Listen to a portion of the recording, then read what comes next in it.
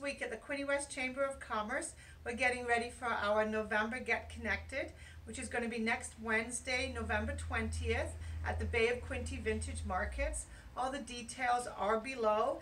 Uh, please join us. We're going to uh, be hosted by Haas, who is the owner or operator of the Vintage Markets, plus Haas's Diner, and he's also got the auction hall. He's a fantastic auctioneer, and we're actually going to have some fun that evening and have a, a fun auction with some about five items that have been donated by Arts Quinte West.